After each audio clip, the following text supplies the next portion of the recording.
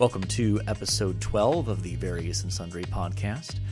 I'm your host, Matt Harmon, joined in studio as always by my good friend and maker of outstanding homemade pretzels, That's right. John Sloat. That's right. All right, let's get some honest feedback on the pretzels. What did you think of them over the weekend? I thought the pretzels were excellent. They had a, a good a, a good flavor. Mm. I think they had the the right amount of salt, which is an important piece of that. You know, just striking that oh, balance of salt. They were they were quite tasty. So your skills have branched out beyond just smoker of meats Yeah. and other things to maker of of of fine homemade pretzels. Yeah, we're uh, we're gonna try smoking the pretzels next. I think that's I think that's next level. okay. Yes, worlds colliding there. yes. Yeah, yeah, In, in so- an exciting way. Yeah. Yes. So, uh, as always, we encourage uh, interaction with our listeners. And so you can reach out to us on Twitter. You can find us at V and S Pod. And you can also email the show, various and sundry podcast at gmail.com. And we certainly want to encourage you to uh, go ahead and uh, leave a review and, of course, a five star rating is always greatly appreciated, especially at, in this period of time where we are, uh, many people are looking for additional content in their lives. Uh, getting those five star ratings can be especially helpful in whatever algorithms the service is used to recommend podcasts. So uh, please go ahead and uh, do that. We would, would welcome your critical feedback. Uh, just give it to us by the email, right? Or yeah, on Twitter. absolutely. Yeah. yeah. Uh, Either of those ways are fine. Just not on Apple Yeah. or wherever you're reviewing Yeah. podcasts. We just want five star reviews there. Yeah. So here we are. We're recording on, what is today? March 24th. Today's twenty fourth. yeah. My goodness. which uh, just as a sort of public service announcement to our listeners is the last day before the uh, state of Indiana has uh, will begin to enforce a shelter in place. Whatever that means. Yeah. Yeah. Isn't it funny how all of a sudden within these last two weeks, a whole new set of vocabulary has has come to us in light of the coronavirus crisis? Yeah, I, here's something I don't understand. Social distancing Yeah. is a new word that is that has really come up in the last two weeks of my life, and I've been saying it all the time. Isn't it really physical distancing that we're that we're really looking for? I need to be physically six feet apart from you. Socially, we can interact, we can talk, we can we can have conversation, but really, we need to be physically separated. Does does that make sense? Yeah, though I think that part of what's trying to be captured there uh, with with that term is also the um, just the reality of you're limiting your social interactions, right? That. Yeah, that you- I think that- that's that true. even Yeah. before this sort of shelter in place order goes into effect, it was supposed to be, yeah, you're limiting the number of people and the uh, number of times you're engaging in social interaction in a physical form. Yeah, yeah. So, but that's that's one thing where I'm going social distancing. I don't I don't need I, I need physical distancing, which I, I I hear what they're saying. Social gatherings, right? They're trying Right. to limit those things. But, Yeah.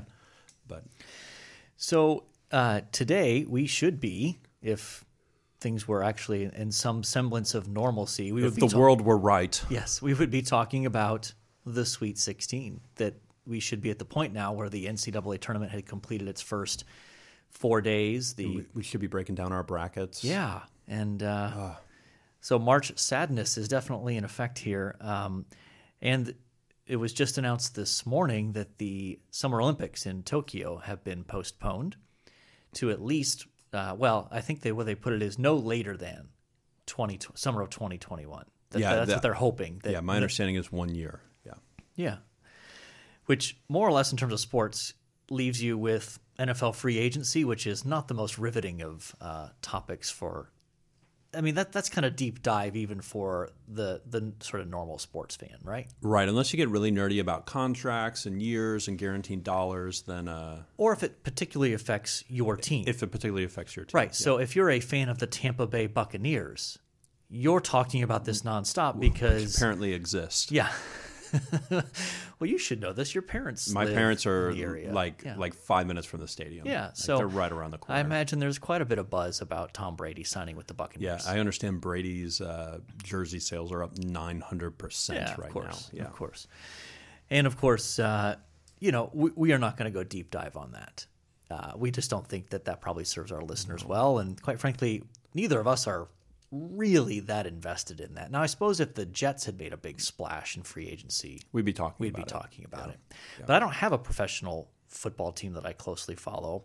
Though on the college front, Ohio State picked up a uh, a graduate transfer running back from Oklahoma who's going to be a Nice. fantastic addition to the football team for next year, assuming that we have a football season in the fall. But those are those are sad thoughts for another day, perhaps. right? Yeah, yeah. I'm not ready to give up football yet. Well, I'm not either. I, I'm just I'm just saying that who knows? I mean, two weeks ago we would have never thought, yeah, they're going to shut down March Madness and and postpone the NBA season for two months, three months, whatever it's going to end Yeah, up being. the the quote unquote hiatus. You Yeah. know, you know. Yeah, the- absolutely. Yeah. But let's get to our main topic for the day, right? Is there anything else you want to cover on the sports front before we actually dive into Um, I just had a, maybe a question. How much do you enjoy the Olympics? Are you are you a I don't I don't know that we've ever talked about it. Are you a big Olympic watcher when it's on? Do you watch? I think I'm probably pretty ordinary in that. Like, there are certain Olympic events that I enjoy watching, and there is a, a sense of um, sort of national pride that kicks in of like wanting the USA to do well mm-hmm. in certain things. And, you know, I, I think with with the Summer Olympics, there are there, there's more things for me that I'm more naturally interested in than the Winter Olympics. Though with the Winter Olympics, you have the sort of the fascination with curling, for example. Like that's really odd and unique and different. So you're kind of captivated by the uniqueness of there's this object that looks like a like a hockey puck on steroids Yeah. with men and women around it with brooms on ice. Yeah, it's It's beautiful, just- isn't it? It's so bizarre and yet so captivating in terms of Mm-hmm. once every four years, it's like, I can't take my eyes off that. yeah. Yeah. I don't have that really uh, with anything in the Summer Olympics. I mean, I enjoy some of the track and field events. Um, obviously, there's basketball. I enjoy the swimming. Yeah, watching watching the guys race. I, I love a good race when it's quick like that. like- Yeah. like, in swimming. Yeah, Cross country skiing, not so much. That's not hard so to much. watch. And I do, I do enjoy watching greatness. So even though I'm not drawn to swimming, like watching Michael Phelps over the past few Olympics was a lot of fun. has been fantastic. Like you're watching a, an, an elite level of greatness that you think this is unprecedented. Here, here's here's the Tiger Woods of swimming right here, and so I'm attracted to watching greatness in that sense. And it doesn't even just have to be, um, you know, a sport that I am particularly drawn to. If I see a level of historic greatness, you have my interest at least initially to see, wow, if someone's doing something that's never been done before. I'm interested. Yeah. Sorry, but wanted to hear your take Yeah. on the on the Olympics and how much you enjoy them. Yeah. What about you, Henny? I mean, Oh, I, I love the Olympics. I have great memories as a child, like s- sitting in front of the TV each night watching the Olympics and watching watching the replays when it was over uh, on the other side of the world. Um, and then I also remember my parents trying to get me to go to bed and just like, no, but this guy's going to wrestle at this time. and uh, Yeah. and my parents being frustrated with me because I was saying those things. They go, "It's taped. He won. Go to bed." oh no. So- Spoiler alert. yeah. Yeah. Of course, now with the advent of streaming and things like that, tape delay has, has fallen on harder times with the networks, right? Like, Oh yeah.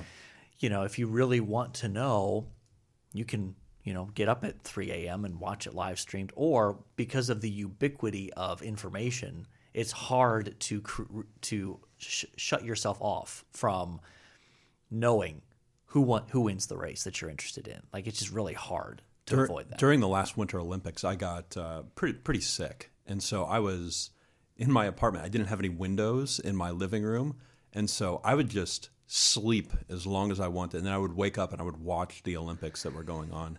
and I think I reverse cycled myself where I was sleeping during the day and watching curling all night, and and and it just sort of just sort of lost all sense of time. Um, and it was uh, it was a, it was uh, other than being sick, it was a Yeah. good time. Okay. Gotcha. Well, uh, you know, who, who knows what's going to develop in the future? But if we need sports content, maybe we'll go down to uh, breaking down past curling uh, championships at, at some point here. Or axe throwing on ESPN the Ocho. Or, yeah, did you see? They, you saw that they've I saw that they did that. Yeah. man. That shows how desperate places like ESPN are. But you know, I, I CBS finally did this past Sunday re-air some some championship games from the NCAA. Yeah, I watched. that- I watched the '92 Duke uh, University of Kentucky game. That was quite. Yeah, the quite regional good. final there. Yeah. That, was, that was entertaining. So, well, our our main topic for today is um, we're going to talk about the the death of expertise, and um, this has been something that we have talked about a little bit, even in advance of the current coronavirus crisis. Sure. Uh, so this is not. Uh, we don't want this to be perceived just as related to that. We we will inevitably talk about how this idea of death of expertise plays into our understanding of what's going on currently with the coronavirus, but it's we want our discussion to be much broader than that when it comes to this whole area, and so I think that the this sort of activating event for us thinking we should really talk about this on the pod was um, an article that uh, that we came across by Alan Jacobs that's entitled "Who You Gonna Believe." Yeah, Good title. it's a great title. Yeah, yeah, and so basically, um, it it enters into the conversation of how we as a culture perceive experts and what we do with what is presented as expert information or expert uh, analysis of of something. And so, um, I don't know if we want to dive into uh, to to that specific article, though. Uh, in some ways, he is basing not necessarily basing, but he is building on. That's probably the better way to put it. Uh, a book that was written by Tom Nichols that's actually entitled "The Death of Expertise: The Campaign Against Established Knowledge and Why It Matters," and that was published in 2017. And have you have you heard of this book or read this book? I think I had only heard of it vaguely, so I actually downloaded the um, the audiobook Oh, yesterday did you? Okay. and listened to the preface and the first chapter. And so uh, I'm enjoying it, and uh, I think it's proving very helpful. I'm trying to remember. I think, if I remember correctly, Tom Nichols is the um, is a foreign policy analyst, and so part of what he's talking about comes out of that realm of um, his experience in in discussions of foreign policy and what should be done and, and those sorts of things. And so, uh, but it's much broader than that. He, he- he's much more interested in just broadly speaking, um, why is it that it seems like in our contemporary culture that more and more people consistently are distrusting experts or dismissing experts and their um, and what they put forward in terms of a certain subject. So, why do you think that is? What, what in your experience? Oh my goodness. Uh, I, I- think there's a number. Of, there's uh, in in the article he kind of lays out several options for Yeah. like why would people do this, um, and he kind of lands on it's probably a combination of all of them. Sure. Um, and I, I, I think that's right. I don't think there's a there's a magic bullet here as to why people people do this. But one one factor that he did that he didn't bring up um, that I'm kind of forming in my head right now. So roll with me. uh, is uh, you, you know in a, in, a, in a former generation in a former place in our world, I, I think uh, there was an understanding that there was uh, some set of an objective truth that was out there, and uh, we were trying to uh, interact with it, report on it, uh, uh, be an expert about it. Um, however, with the um, with the rise of um, truth is found within myself and uh, that that leads us, I think, to a pretty dangerous place that maybe we haven't talked about much as a society, where truth is something that is informed by my bias, and because I have my bias, therefore my bias is truth, mm-hmm. and it comes out that way. Does does that make sense? Yeah. Do, do you think that plays into this? Uh, this why do uh, why why have we stopped trusting experts? Yeah, I think so. I think that um, you know when you consider the emphasis that our culture often has on things, uh, sayings like, "You just do you." Mm-hmm. You just define. You create your own identity. You create your own uh, possibilities. Yeah. You are the, in one sense, you are the center of the universe. Mm-hmm. Whatever you want, you can make happen. And um, if that's the case, then of course it has spillover uh, effects into um, our consumption of expert expertise, expert knowledge, and things like that. That um, that if you don't like what an expert says, you feel the freedom to say, "Well, I'm going to make my own reality." I, I don't like that. That doesn't line up with my preferences, my biases, and so I'm just going to make my own reality. I, if I just uh, ignore that or can dismiss what they say, then yeah. So I think there's absolutely the the loss of a a sense of absolute truth. Mm-hmm. That there are things that are objectively absolutely true. That no amount of wishing them not to be changes mm-hmm. them. Certainly plays into that. Absolutely. Yeah. Well, as you read the article, what were you what were you thinking? Why, as you were reflecting on this, why mm-hmm. has uh, why has expertise fallen on hard times? Yeah, actually, I think um, for me, what what what stands out is um, I think that part of why people uh, distrust experts. Uh, and these some of these these are drawn from the article and my own experience as well. But I think the first thing is that um, oftentimes experts disagree. Yeah, that you can have someone who might be an absolute expert in a field, who mm-hmm. clearly has the credentials, has the life experience, has all those sorts of things, and they will say, "This is this is what's true, and this is um, what you should know. And then another expert comes along and says, no, it's not. No, it's not. And they have comparable uh, credentials and life experience. And they say, so then you have these competing experts that then the person who's not an expert is, is left with, well, what am I supposed to do with that? Who am I supposed to believe? what am I supposed to do with that? So I think that the fact that there are often cases where experts just flat out disagree on something that leaves the consumer with a sense of I don't know what to do with that. And so the the response is just to dismiss it or to pick the one that most clearly aligns yeah. with your own pre-existing biases and assumptions. Right, that's confirmation bias, reinforcing your own bias uh, right. by listening to experts that agree with you and, and only those experts. Yeah, yeah, absolutely. Um, and I think that sort of stepping aside for a minute, out, outside the public policy realm, um, you know, I think that I, I, I see this in my own field of biblical studies and that sort of thing, where you have people who have the same kind of credentials, perhaps even better credentials than I do.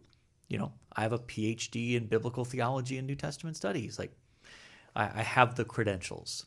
I have a, you know, I have 13, almost going, going on now, 14 years of experience teaching in the classroom, of reading the literature, of publishing in the field, all those sorts of things. Mm-hmm. And there are plenty of experts who have similar credentials who would disagree with things that I would say in terms of even just basic things like um, the reliability of the of the New Testament, the historical reliability of the of the Bible. We would disagree. Sure. And that expert could marshal evidence that they think disproves it, and I would marshal evidence that I think proves the historical reliability of the Bible. And so, even in my own field, you can see that. And then I think it's taken another step, though, into the classroom, where I, this is not pervasive, but I've, I've, I've experienced it. Yeah. Where um, perhaps a, a little overeager undergraduate student uh, decides to challenge a view I have in class. And they give the impression that their half baked, recently arrived at opinion on something is essentially the, of the same value as my own conclusion that's been based on years of research and study and publication interact, and interaction with other experts in the field. That those that there should be no distinction in valuing those two opinions. Yeah. now let's be clear. I can be wrong on many things. So i'm not saying that that that automatically means that the student is wrong and i'm right And and that's a big part of the intellectual process, right? As people that teach and think for a living, humility has to be has to be a part of that. We have to foster that um, in our own lives. So no, that's a that's a good word. But sorry, I interrupted. Keep going. No, I think that the but what what I'm sort of pushing back against is the the sort of arrogance that comes from wait a minute. So you're just processing this for the first time and you're ready to dismiss my opinion as at some level an expert on this subject because you've had a half-baked thought after 15 minutes of reading the Bible passage and talking about it with some buddies and you think that that you're ready to just cavalierly dismiss Yeah. the opinion of Oh yeah, scholars. I've, I've seen. Yeah, yeah. Partic- for some reason, also, it seems to be uh, young male Bible students that Oh, that yeah. that come across that. Yeah. Um, and then I think back. Wait, I was a young male Bible student at one time. How do I? what Yeah. was I like in Yeah. in the classroom? So, but I do think, um, I think that, you know, my taste of that is is you know one thing, but we we want to talk more broadly. I think about our, our larger cultural moment in terms of why is it that we uh, distrust expert opinions, expert analysis, etc. And we've already talked about the fact that experts disagree. Um, I think that a- another piece of that is experts often speak outside of their lane, so to speak, right? Yeah. That you you've got someone who, and this this is the low hanging fruit uh, example. There are more, but I think one of the most obvious ones that people recognize is that. Uh, so you've got a Hollywood entertainer who is an expert in their field, right? Maybe they're a great actor or they're a great musician or something like that. Sure. And then they speak on some issue of public policy. And they're, they expect that their opinion should be given all of this weight on this public policy issue because they're really good at acting or because they're great at performing musically or something like that. That that that, that their opinion somehow has all of this weight on maybe something like climate change or whether or not the United States should have a government run healthcare system. Something you're like, what does your expertise in acting have anything to do with whether or not the government should have should basically run our healthcare system? And the answer is it has as- absolutely nothing to do with it. Yeah. yeah. They're stepping outside of their lane. Exactly. Yeah, I think I think maybe one that's uh, less maybe less fun to talk about is the, is the coronavirus. Currently, we were talking about this over the weekend. That um, as you're making policy, you have health experts Yes. who are saying one thing about oh my goodness, we need to quarantine, we need to quarantine, we need to quarantine, we need to stop, you know, flatten the curve, all, all these things. Another uh, uh, verbiage that's come up in the last, uh, you know, um, I always thought that had to do with weight loss, you know, but um, uh, flatten the curve. And then uh, you have economic experts that go, if we don't get back to work, if we don't get back to some sense of normalcy here in the next weeks, uh, there is going to be uh, huge ramifications. And those, those, Yes. experts from different fields are clashing with one another currently. Yes. And then at that point, you have the responsibility of our political and government leadership to have to try to sort out Yeah. weighing those things, right? Oh yeah. You know, oh, it's, and so it's again, we are we are not going to talk politics on, on this podcast, but we can all acknowledge that our government leaders, whether it's President Trump or the individual governors of each of these individual states, has they have an impossible task Yeah. because they're not experts in any of these things. And so they're reliant upon health ex- uh, health experts and even then not all health experts agree on what's going to happen. Sure. Yeah. And then you've got economic experts who don't all agree on what will happen if we, you know, essentially shut down the economy for a month, six weeks, two months, whatever it might be. And I, I think that's another point that that people's expertise are not siloed, right? So so um, health experts are going to say, here's one decision. It's just not going to affect public health. It's going to affect economic uh, health as well. And so economic health expertise is going to have one thought and decision, and they're going to come at it from their perspective. And it's going to affect you know you know these things these decisions are not siloed things are impacting one another and and it's an it's incredibly complex and you can Yes. you can tease that out into other disciplines and other Yes. areas as well it's just not coronavirus but Right. Yeah, I mean, I think that's the most pressing example that we that we're feeling right now Yeah, in terms of our it's cultural right in moment. front of us yeah But um, you know, even some of the discussions of, and, and then you then you bring in what are what are framed as moral considerations, right, into this conversation of.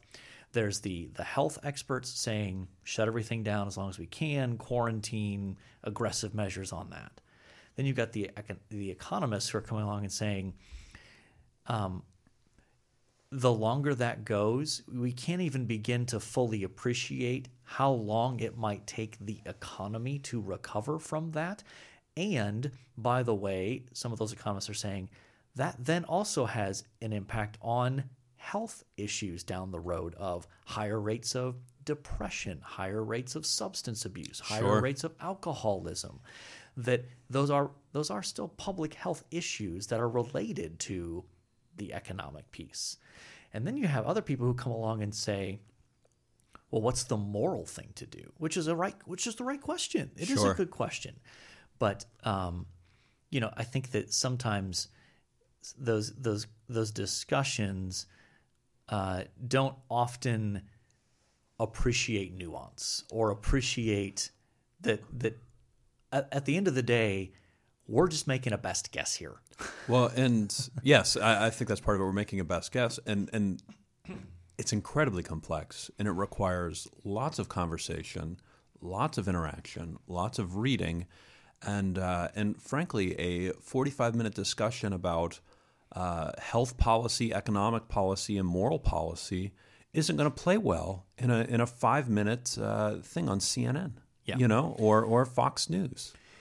Well, and, and and in fairness, the current situation means that we don't have months to sort this out, right? Like you President Trump can't say, "I don't know." And so we're going to create a task force and we're going to study this thing for the next 3 months and then we're going to have a recommendation for, for what we're going to do. We don't have time for that in this current, like some issues, like, you know, just to throw one out there, let's say uh, the healthcare system. You know, right? You, you could create a, a special task force to say, we're going to study whether or not we think we should have a government run healthcare system or the free market system or some hybrid of the two. And we're going to study that for the next six months and come out with recommendations. People will be like, okay, yeah, we got time for that. Yeah. Not We- this. No, we don't. And so you got to make a decision, and it's it's incredibly difficult and incredibly complex. But back to the original question. Yeah. Why else don't we trust experts?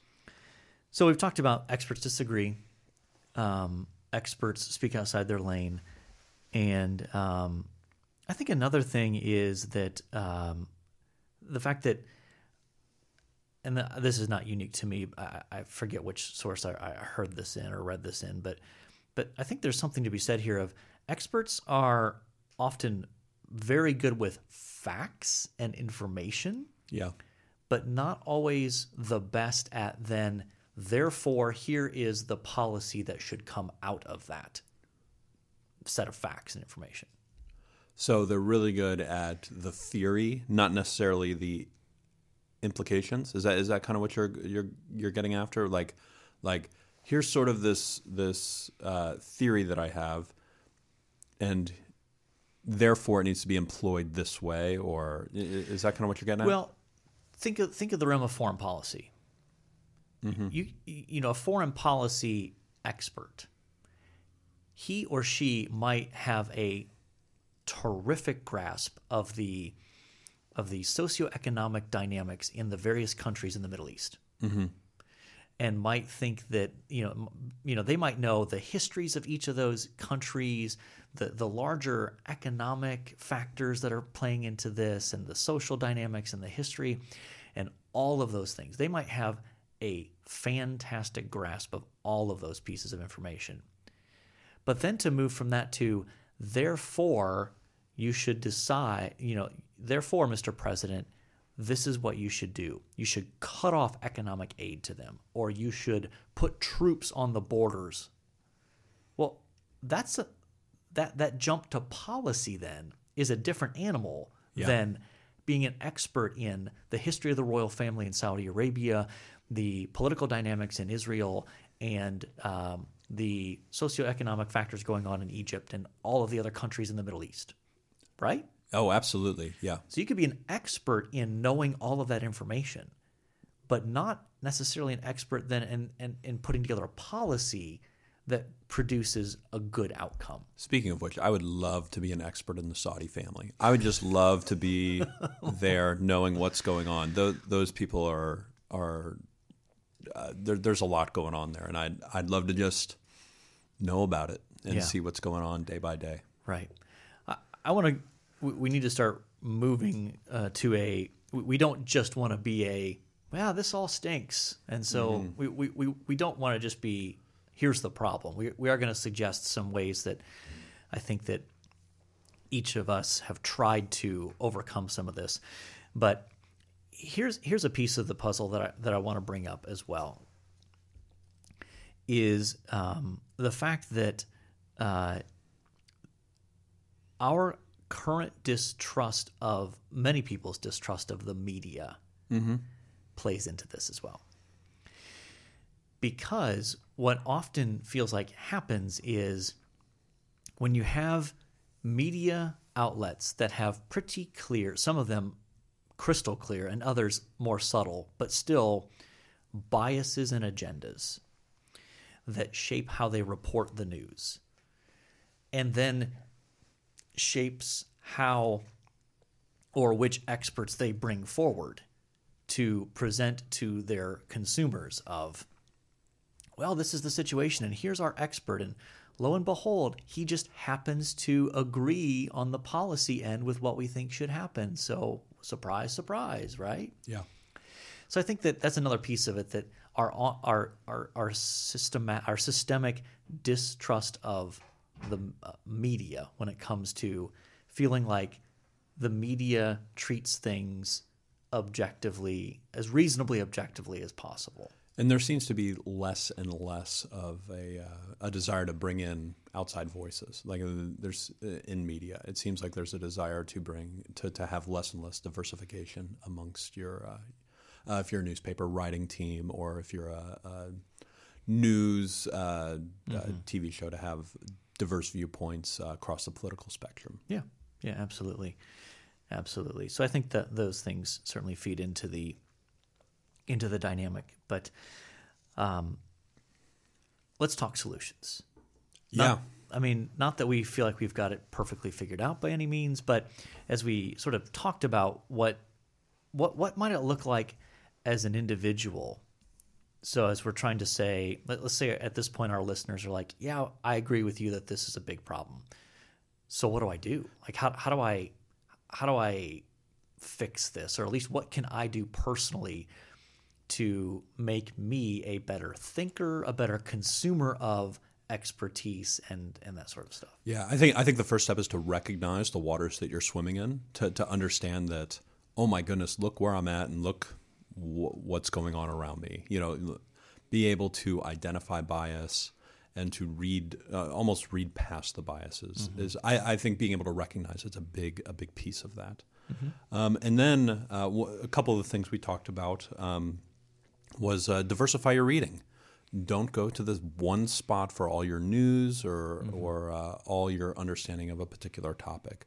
Uh, make it broad, and uh, and you have. Uh, a news source that you go to regularly, and, and I have a couple as well. Do you want to identify Yeah. yours so, real quick? Um, so pretty much every morning I check in uh, with a site called Real Clear Politics, and they do a pretty good job of posting articles gathered from various news sources across the spectrum.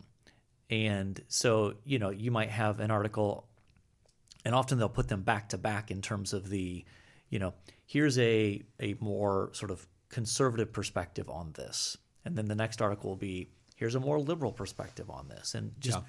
and, and even then, though, I still have to choose to go through and read, right? I, I can't just like, oh, let's let me cherry pick the ones that most line up with my predispositions to go through and read and say, okay, I'm probably not going to agree with this, but I should read it to challenge my thinking, to make sure that I've not maybe missed something, or to make sure that I haven't just bought hook, line, and sinker into a particular perspective, and and and maybe, quite frankly, some of the factual information in the source that I'm more predisposed to uh, is something that is incorrect, or maybe not the whole story, only part of the part of the story. Yeah.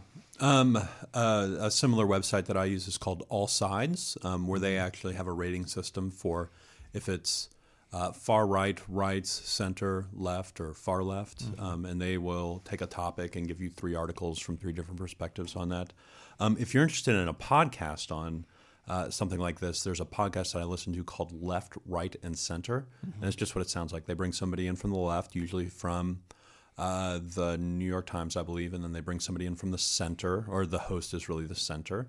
Uh, and then somebody on the right, usually the editor of National Review, is usually the guy on there. And then they'll bring in an expert and interact about it, and it uh, comes out every Friday night. And so I listen to it on Saturday mornings. It's quite good. Gotcha. That's good. Uh, so, in addition to diversifying uh, our sources of input, what are some other things that we can can do to to be better consumers of expertise and information and wisdom and knowledge?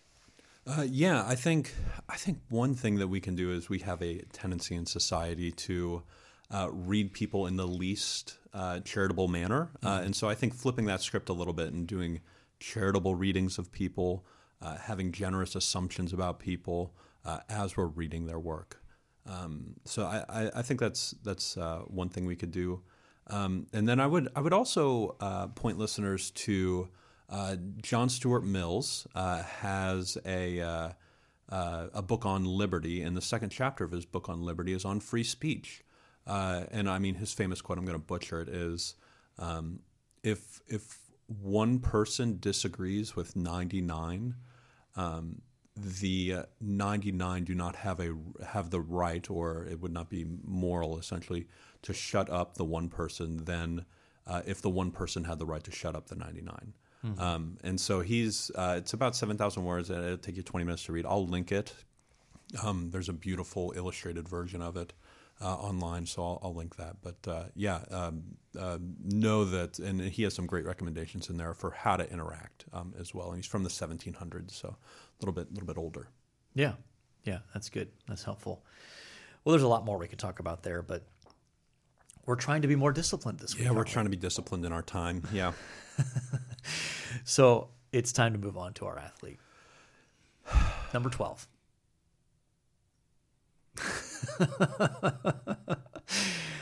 let's let's run down our list here. Okay. All right. I already don't like the first one. Tom Brady, Terry Bradshaw, Aaron Rodgers, Jim Kelly, Joe Namath, uh, John Stockton. Yeah. And then you have some OSU players there. Do you want to do you want to Yeah, pander? absolutely. Um, number 12 has been pretty good for the Buckeyes in the last um, in the last few uh, I'd say last two decades.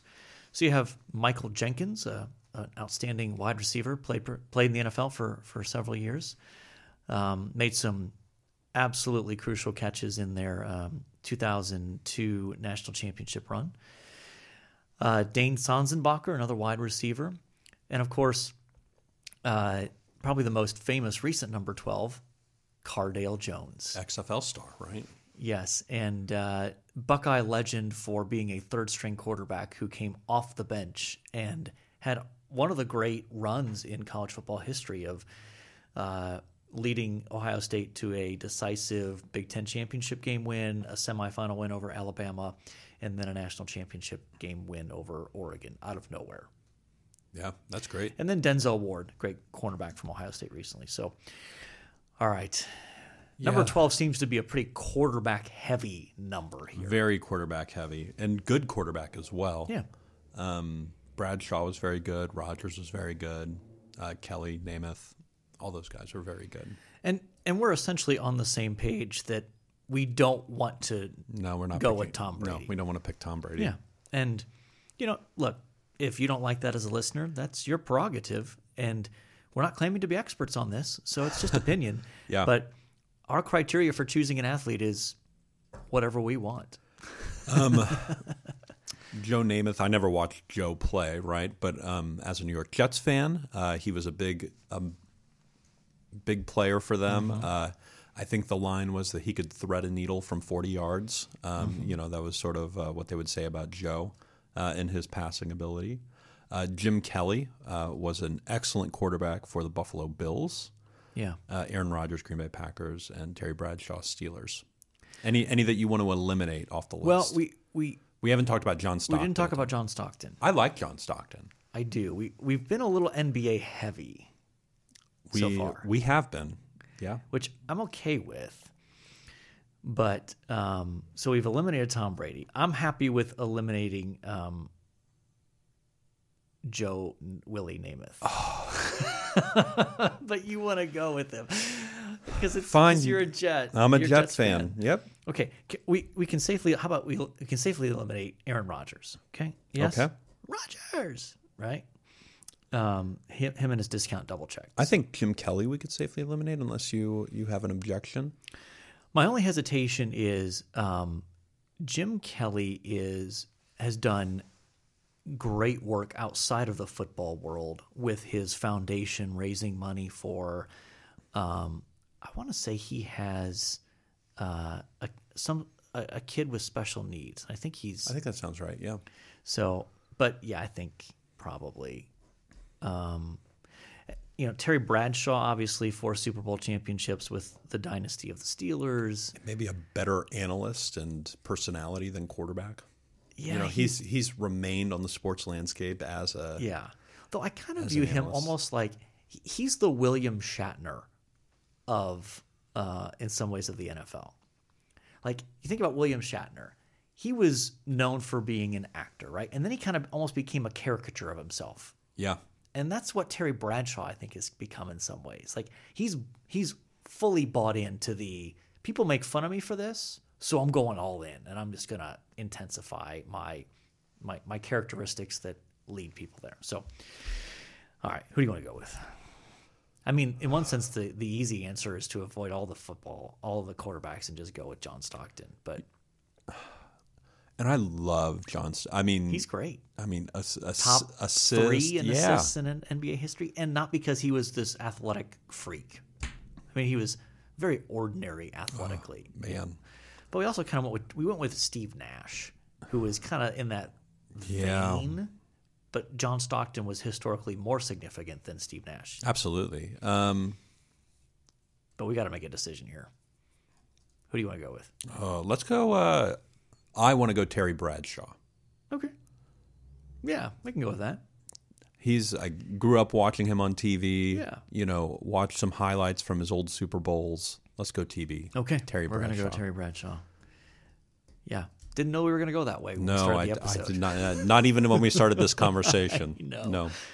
Yeah. All right. So, what's one thing you like this week? Oh goodness. Well, uh, I have been, for the most part, except for this, have been in self quarantine doing uh, Zoom meetings all day, and so trying to find things to occupy my time. Uh, me, uh, me, and Andrea have turned our attention to uh, a TV show on Hulu uh, called White Collar. Uh, If you've never seen it before, it's about uh, a guy who gets arrested for white collar crimes, uh, forgeries, those sorts of things. Um, uh, gets brought back by the FBI to help track down other criminals. It's humorous, light, easy watching. Uh, It's been good. Nice. Nice. So, speaking of humorous and light, uh, my one thing this week is going to be uh, Frank Caliendo. So, Frank is um, a comedian who specializes in impersonations. And so um, on Twitter, he's been pretty consistently doing uh, primarily more sports Im- impressions, but That's sort of his wheelhouse, yeah. but he does a great Morgan Freeman though, too. and so, pretty on, on a daily basis, he's kind of releasing these short videos where he's you know commentating things with with his impersonations of John Madden or Morgan Yeah. Freeman or Tony Romo or things like that. And so, um, that that's been my one thing. Now, a side note: there is occasional um, content that uh, may not be always suitable for uh, young, young, listeners, yeah. so let's put it that way. So Um, I've seen him live. Have you seen him live? I did. He he came here to Warsaw. Yeah, Um, I saw him in Warsaw. We must have go. He must have come twice then, because I went with I went with Kyle Brenneman.